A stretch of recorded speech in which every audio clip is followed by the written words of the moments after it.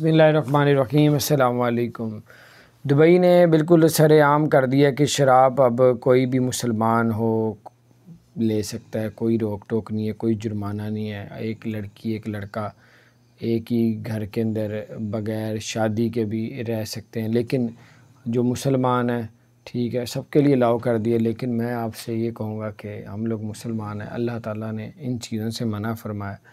तो अल्लाह ताला ने तो कहा है ना कि जना के करीब भी ना जाना।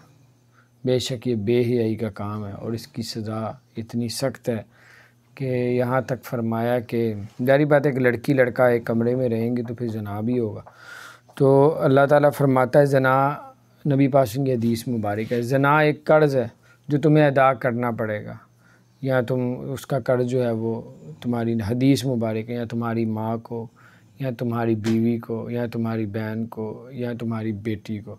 फिर आप ने शाद फरमाया, उनको ये कर्ज़ अदा करना पड़ेगा। चाहे तुम अपने घर के आगे ऊँची ऊँची दीवारें क्यों ना करवा लो, तब भी वो ये जना करके तुम्हारा कर्ज़ अदा करेंगे। तो इसलिए दुनिया में तो ये है ना, आखिरत में मरने से पहले पहले भी बड़ी बड़ी सज़ाएँ मिलती है तकलीफ़ों में रहता है।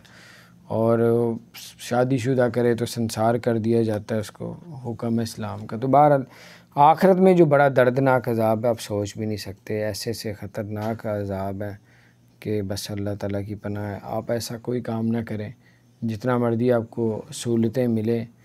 यूरोप में भी तो ऐसे ही है, ठीक है, लेकिन जो लोग अल्लाह से डरते हैं, वो ये काम नहीं करते। तो बाहर अपना ख्याल रखें। अल्लाह ताला आप सबको और हम सबको हर तरह की बुराई से, शैतान से मरदूद से अल्लाह अपनी पनाह में रखे और शराब, जना के अल्लाह ताला हम सबको करीब भी ना आने दे।